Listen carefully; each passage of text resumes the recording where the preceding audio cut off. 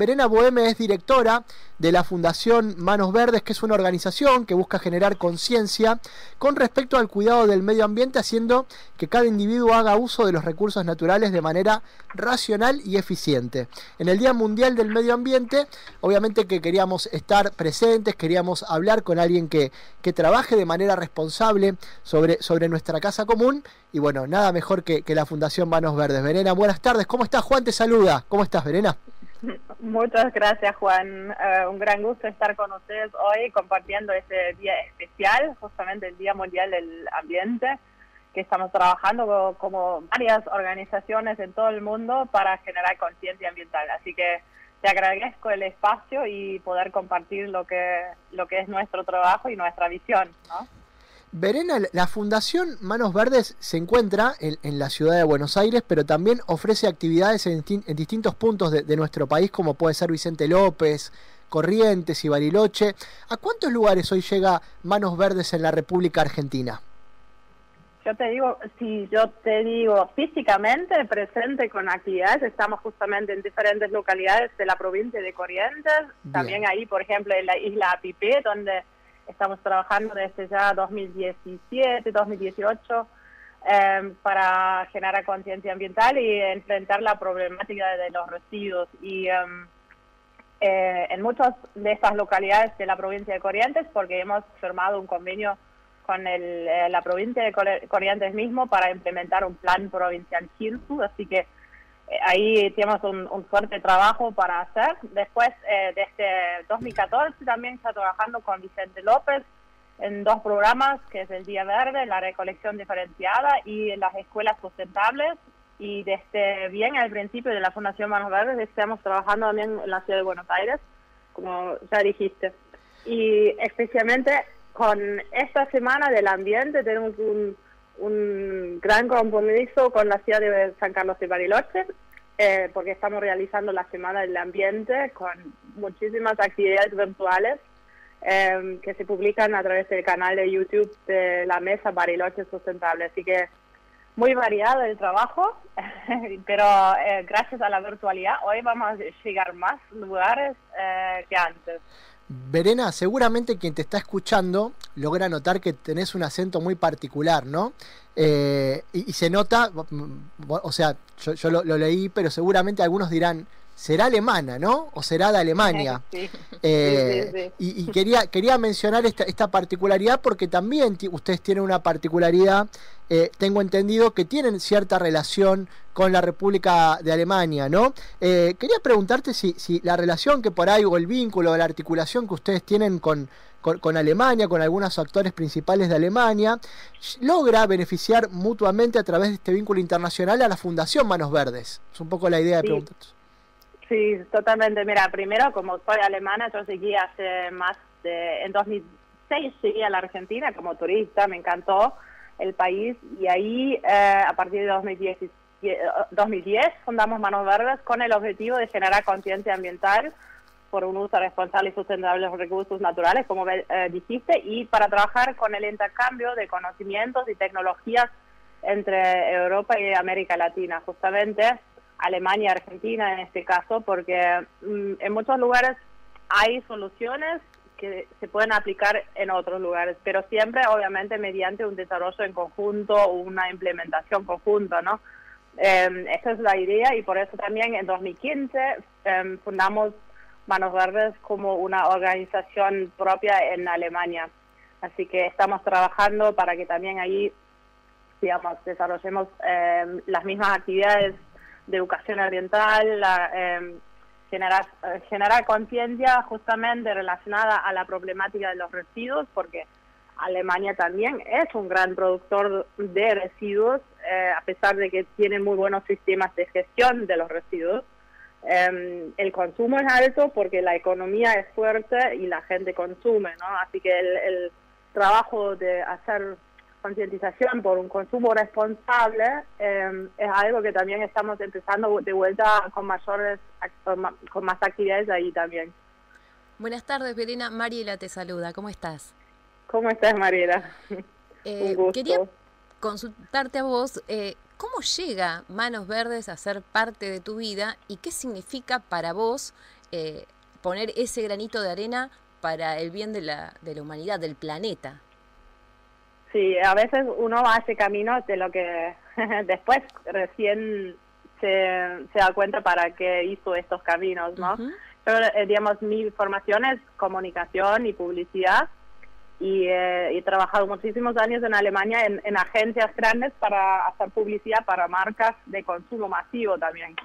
Y um, llegó un momento donde yo me dije, no, la verdad es como no quedé feliz con mi trabajo y con el esfuerzo que le puse para, para hacer que, ¿no? Para promover algo que a, nivel al planeta no le hizo muy bien en este sentido. Así que, um, pero siempre mirando hoy hacia atrás, desde ya la infancia y desde primaria, hice como acciones por, para de limpieza de la, del río o de acciones de concientización en la escuela, es como fundamos un club de protección de la naturaleza cuando tenía como 10 años y encontré hace poco la carpeta con la lista de los integrantes.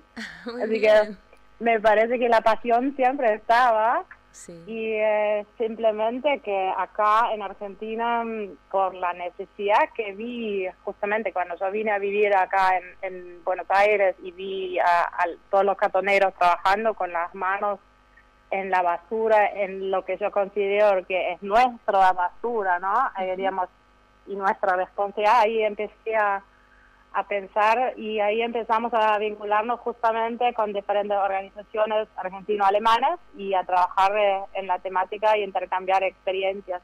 Y así Manos Verdes surgió justamente a partir de un proyecto de intercambio con una universidad de Alemania y con la UBA, la UA de la UP acá en Buenos Aires y empezamos con talleres en escuelas y esto fue siempre fue el inicio de Manos Verdes eh, acá en Argentina.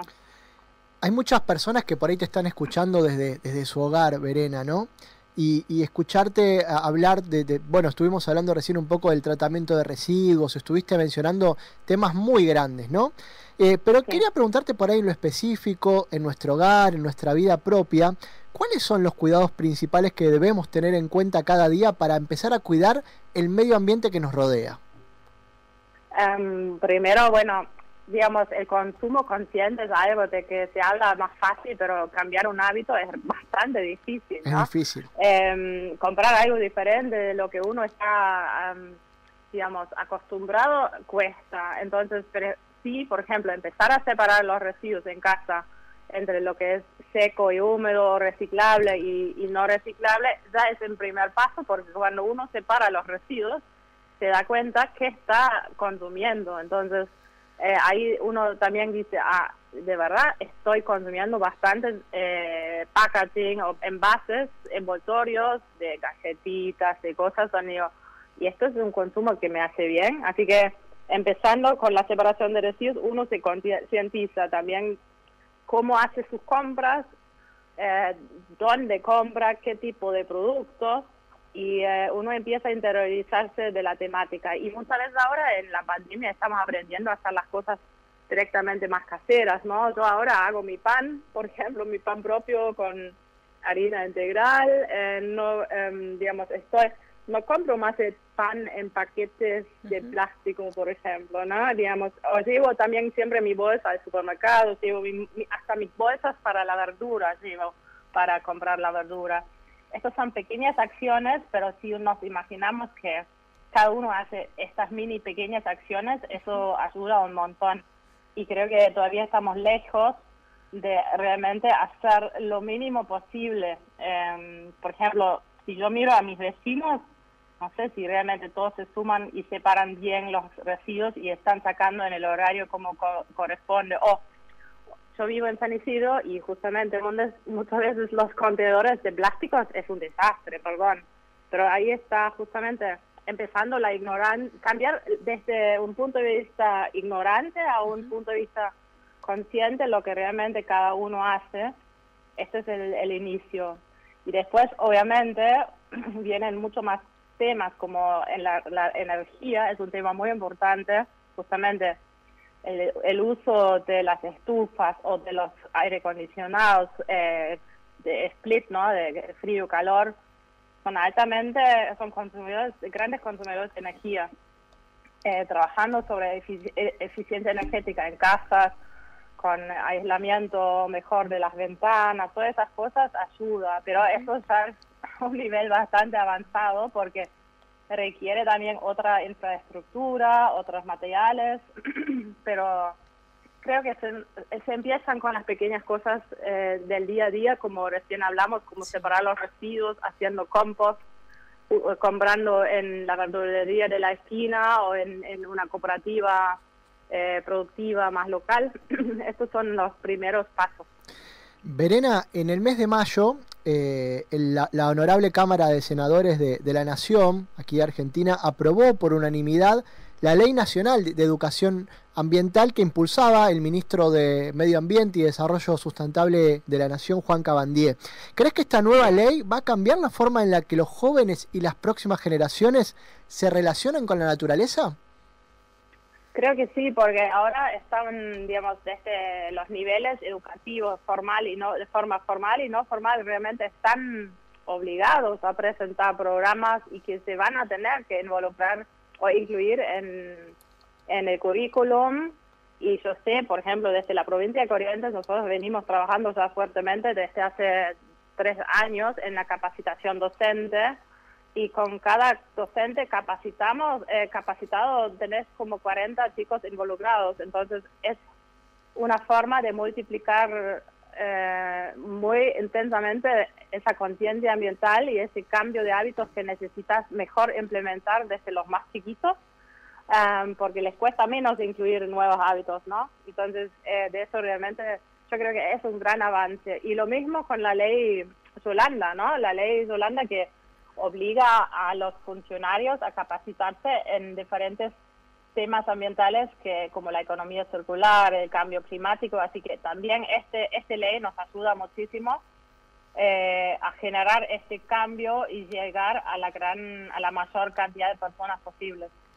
Contanos un poquito, Verena, sobre el evento virtual que van a estar ofreciendo hoy a las 16 con motivo del Día del Medio Ambiente.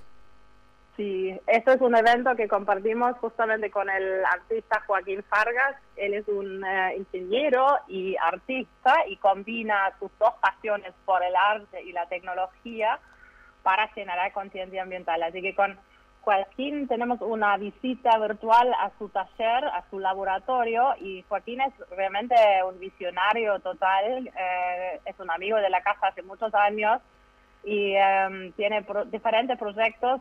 Eh, por ejemplo, em, estuvo ya dos veces en Antártida, donde estaba em, haciendo un, proyecto de arte con un robot que genera energía a partir de mini paneles solares y compacta la nieve para que el descongelamiento del glaciar se, no se hace tan rápido, ¿no? Eh, obviamente eso es como una una acción artística, pero transmite una temática de una forma más inspiradora, más para reflexionar y, y con él intercambiamos justamente ideas sobre cuál es la, el lema del, del Día Mundial del Ambiente, con eh, justamente el reimaginar, recuperar y restaurar los ecosistemas y cómo podemos justamente contribuir cada uno nosotros eh, en este proceso y por qué es tan importante no sé si alguien justamente hoy La Nación lo, lo transmitió también, que ya casi la mitad de los humedales en el mundo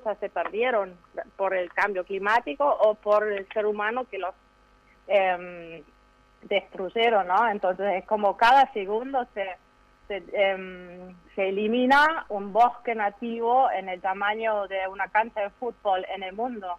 Es tremendo si uno sabe estos números, creo que o cada tres segundos.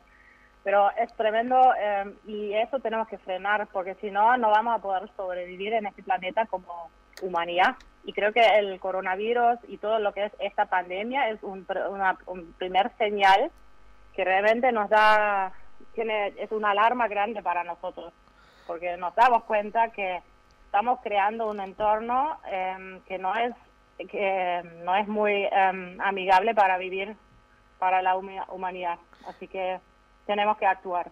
Verena, muchísimas gracias por este contacto con Yo Quiero Verte. Vamos a estar obviamente en contacto y difundiendo a través de nuestras redes a las actividades de Manos Verdes para quienes quieran sumarse eh, a, la fundación y, muchos éxitos para el evento que van a hacer en un ratito nomás con motivo del Día del Ambiente, que invitamos obviamente a los oyentes a sumarse, a participar en este día tan especial donde tenemos que concientizarnos acerca de determinados cuidados que debemos tener acerca de nuestra casa común. Verena, muchas gracias por este contacto y buen fin de semana.